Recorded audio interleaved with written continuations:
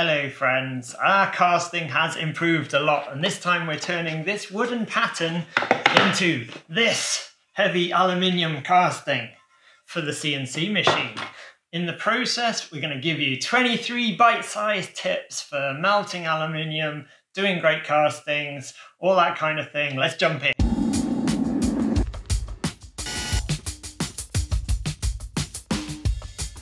Let's start on a random note. Stop making muffins.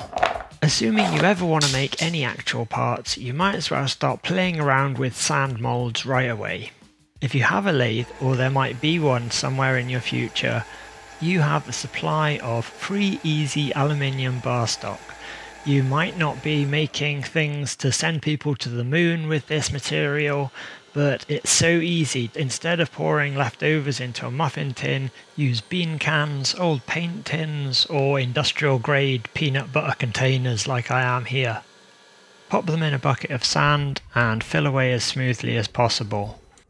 It seems like a more useful use of spare material and you can always remelt it back down. To get much less defect riddled lathe blanks, you'll want to burn off all the plastic from the tins before you pour into them. To make them more useful still and more machinable, you can quench them and then heat treat them. There are a few easy tricks to avoiding incomplete fails like this, as well as partial collapses in the green sand. Let's start with the basics. It's made up of three simple ingredients silica sand, bentonite clay, and water. Getting these in the right proportions is simple, but we've certainly managed to muck it up in the past. One tip here is to mix the sand and clay dry so you can weigh it, and another is to top the clay up every now and again because it does get burnt out with use. The water's just misted on until the sand's passing the so-called sausage test, where you make a sausage shape and it doesn't break under its own weight. When it does break, it breaks cleanly. We've done a number of videos on the mulling machine, so we won't go on about that. Enough to say you can do all this by hand, it just takes longer. This tip is connected to the last. If you do it right, you can prevent dropout. It's easy enough to modify these flasks. I don't think I'll be using it again. So it's a complete mutant and it's made for this size of pattern. There's no fine joinery going on here, but there are a few important things to point out. Flasks that have relatively large surface area compared to their depth like this one, are the ones most prone to drop out. Threaded rods like this can prevent that in two different ways and I'll come on to those later. So here's the thinking. The aluminium is going to come down the pouring basin and sprue here. It'll run along these feeders and gate in in four different places into the void. We want it freezing from this side to this edge so that the feeders are the last things to solidify so that they're feeding in aluminium to the shrinking pattern. Hopefully that'll tend to want to happen anyway because the aluminium's being fed in in this direction. So the first aluminium in will be coming to this side. And so that will have the most time to cool as it contacts the green sand. To try and make sure we want to add in a little chill. More on how that does or doesn't work later. Let's get on with making the mold. This will be the top half or the cope. Why it's called the cope, I have no idea. When I first started casting, I used talcum powder as the parting dust because I read it somewhere. It works okay, but it makes everything stink and is full of perfume and other nasties. Much better to use just pure calcium carbonate that's a fine powder. The first green sand to go on wants to be the fine facing sand, which has already had the bigger particles sieved out. This is followed up with more of your regular green sand and then rammed down. I'm reliably told my ramming technique sucks, so I won't say too much about that other than the rammers you use don't need to be anything special. You can even use your fingers to get into all the nooks and crannies, just so long as they're small enough and they have a rounded edge. Flat topped rammers are okay right at the end, but if they're used in the middle of the mould, they tend to cause weak planes and therefore collapse. A good sand mold is about finding the sweet spot between an extremely well compacted, solid, high tensile mold and one which has good permeability. As the extremely hot molten aluminium makes contact with the green sand, it vaporizes the moisture in the sand, and if that doesn't have anywhere to go, as in it can't pass through the sand, it will cause a kerfuffle in the casting itself. More clay content, harder ramming, and finer sand, all of which seem to make a smoother, more impeccable, stronger mould, actually reduce the permeability. Tip 8 prepare for mistakes. Even if you've been doing this a while, it's likely you'll learn something new on each casting. In this case, it will become obvious to my previous self what I was doing wrong in just a moment. Before it does, let's sneak in another tip.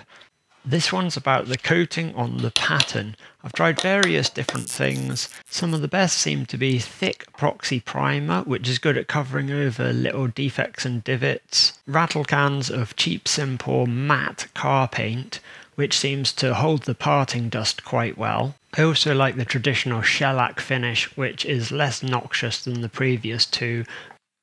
Oh wow! but shellac does tend to require a slightly finer finish on the surface of the pattern. To return to the mistake then, it wasn't necessary to remove this pattern before I'd rammed up the drag, and see those big gaping holes in the sand there? They're going to make it quite difficult too. So let's reverse a bit, screws out, we need to get the pattern back up and push those risers back in. Before I did that I had to cut them down a bit because they stuck up too high. All this up and downing and moving around of the mould is making me very thankful of the reinforcement, the threaded bars that are in there. They stabilize the whole structure a lot and they stop the walls of the flask moving in and out as you move it around, or indeed when you're ramming up, which tends to push the walls of the flask outwards. We've put the other half of the pattern in and now we're placing the runner which is basically like a corridor for molten aluminium. It goes all the way from the sprue down to the spin trap here. There's a couple of good YouTube videos already on spin traps and I'll link to them in the description. The basic idea is molten aluminium flies down the runner, spins around the trap at high velocity, centrifugally trapping any debris or sand that might get washed into it. This drag or what will be the bottom of the mould, is very shallow.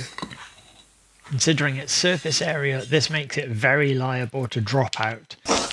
Why have such a shallow drag? Well, on castings this size, if you don't, it just becomes impossibly heavy. To prevent certain dropout, we screw a ply base onto the drag, and from now on the sand should be completely supported. You could use a hoist, of course, but with less sand in general, it takes less long to ram up the pattern, and you don't have to have such a big stock of green sand.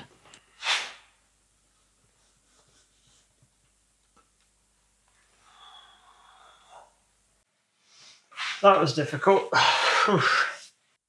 the spin trap, lower part of the pattern, and runner all get removed. It doesn't have to be particularly neat round the runner or trap just so long as there's no loose sand that's going to get washed into the casting.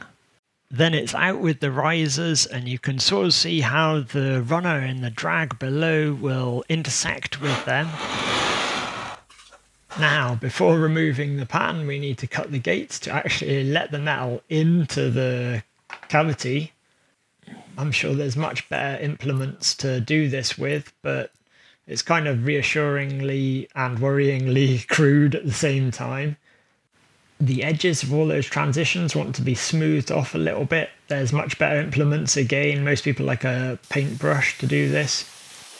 Tip 12. Use compressed air or just blow on it to make sure there's no loose sand left in. Don't go too crazy and make sure you turn your regulator right down even if a few small edges do break off, a nice clean cavity bodes well for later. We've made it this far, but it seems like an epic struggle to lift this onto here and place it nicely in these pins. Do I dare try it now? I guess it's quite late. But I need to put it together so I can leave it overnight or it will dry out horribly. So I guess we're trying this. Tip 13. Well, this did indeed turn out to be a struggle, and for the love of all things reasonable, put handles on the flasks near the pins if you have to do this. I even had to cut some of this cackhandery out, just it was so painful to watch. Kind of hysterical in its own way, but only once it was together. uh, tip 14. With it back together, we can make the pouring basin. This wants to be as near to an edge as practical so that the crucible can be low down and the spout can be right by it when pouring. We're cutting it with a pipe that's sharpened on the inside and marked up so I can see the depth. Here it is, I've covered up nicely for bedtime, so hopefully it won't dry out overnight. It's not ideal because the wood here could warp and cup, and that would be bad obviously. Tip 15. The alloy you use makes a huge difference. I've written a whole blog post on this, which I'll link to in the description, so I won't go into it too much in here, just to say old alloy wheels are my favourite. They also often have their particular alloy printed on them. ALSI 11. Been overnight. I'm realising I need to put vent holes in here. It's much better to put them in when the pattern's still in the sand, but I forgot to do that. It's usual to jab the holes in with an old bicycle spoke or something similar, but without the pattern in, I'm afraid I'll cause cave-ins, so I'm using an old drill bit for that. I'm just hoping the upcuttiness of the drill bit will save the day versus the down pokiness of a spoke. On the subject of venting, notice the wooden battens we're placing this on and the air gap below them. More on that later. Let's light them up.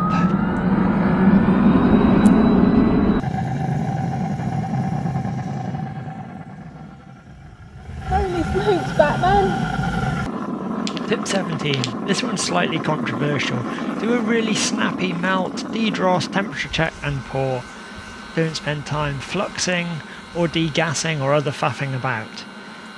The longer you spend with the molten material, the higher the chance that alloying elements will change their composition I'll leave a link in the description to a video by Lucky LuckyGen1001 which convinced me that for the hobbyist, especially if you're starting with a nice alloy, it probably just isn't worth doing the fluxing and degassing. Tip 18. Preheat your crucible tongs. That'll stop thermal shock on the crucible. Preheat your temperature probe. Same, that'll stop self-destruction when you use it preheat the dedrossing spoon and the alloy that you're actually feeding into the crucible. That'll drive off all moisture and prevent explosions. 19. Do a dry run. This is as much a safety tip as anything. If you watch carefully, there is a lot going on, and one little trip could be disastrous. It's far from a perfect example, but we tried to have everything laid out so we can be quite economous with our movements. The pouring spout facing the right way, lifting with the correct hand, having the axle stand to prop up the crucible ring just so. As you see though, even with all this there's plenty of slopping and spilling about the place. A lot of this is due to the crucible just being so full, it makes it much harder to control as well as being very heavy you can verify this yourself just by pouring a very full jug of water. It's really unideal what's happening here, but there is no chance for do-overs or hesitation really once you've started pouring. And I guess that counts as half a tip in itself. Stay calm and deal with the non-ideal situation as it unfolds. I've got two streams. This is the biggest casting we've done, and it did require us to fill the crucible right to the... Let me just interrupt myself here, because Martin from Old Foundryman, the YouTube channel, has an amazing video on this very subject. And together with Lucky Gen 1001, they just make my piffling efforts look ridiculous. So go and check out those channels right away. it means you'll miss the last few tips but it doesn't even matter. That's how amazing they are. Well, the pouring technique may have been absolutely sucky, but at least there was enough in the crucible to fill the mould. That's one good sign. Here's the copper pipe chill in action. Good thing we had the steel bar. I've been told by people who would know much better that the copper pipe chill probably didn't do anything because it was separated by a couple of millimeters of sand which will have insulated it, but still it was a nice experiment. There's plenty of steam venting from the bottom there, which reminds me that I should say if you use the super shallow drag strategy, the baseboard really needs lots of holes in it or it won't vent sufficiently. They can be easily made with a hole saw.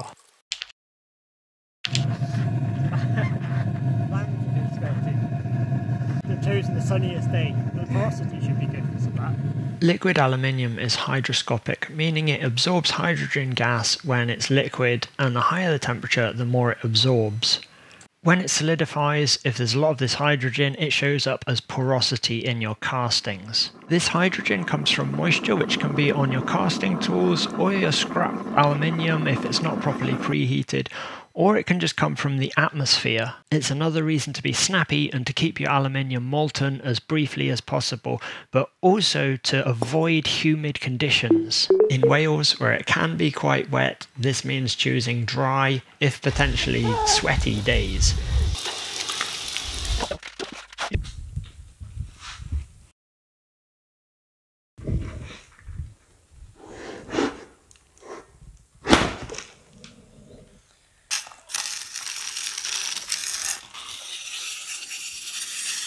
Feel the heat. This is this is good. It's good so far, anyway.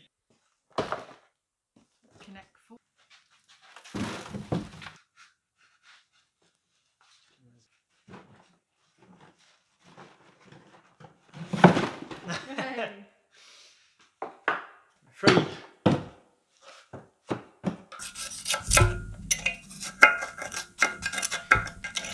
23 Analyze the faults but celebrate the successes and not in that order. In general, I am so chuffed with this. It's really flat and square for a DIY casting. It hasn't shrunk too much and the surface finish is really quite nice. Some pretty cool bits here. I don't know if you can make that out, but there's the triangular shaped piece of tape covered that hole up. Same with the other side triangular piece of tape there. You can just about make it out. The pouring basin sprue, well, let's just not mention how it's spilt into that one. The gating all worked quite well, I think. The spin trap, I'm surprised that nothing came up the vent. I think it probably was freezing by the time it got all the way down to here. All the feeders seem to do their job, they're good and concave, so that's where the shrinkage happens, and you can actually see that in real time or sped up time. 2 minutes 20 seconds for complete shrinkage. The edge furthest to the gating has a bit of a different texture to it, I imagine because it was cooling compared to this side which is much finer grained and picked up the texture of the sand. This inside bit here is really nice as well and I think that's basically as good as the impression left by the pattern. Here's the main cosmetic defect. It's a rat's tail running across here and here. It's quite common on large plate surfaces where there's no ribbing to break up the area. So it's not pretty, but neither is it a structural problem. Here's the main flaw in this casting though. I think it was wall claps in the sand mould, but I'm still partially suspicious that the gate here, the closest one, froze before this area did, meaning the feeder couldn't do its job on that section. Indeed, if it froze in this direction, that corner area might have ended up sort of acting like a feeder I don't know. I welcome your suggestions. On the plus side, I think the casting's still perfectly usable. I still have the conundrum of finishing these inside edges to mount the linear rails so that I can turn this casting into a finished part for the CNC. If you want to see that happening, I'll put a link to a video as soon as it's done up there. Otherwise, Google thinks you're going to love these other videos. It's been a pleasure. Thanks for watching. See you next time. Bye.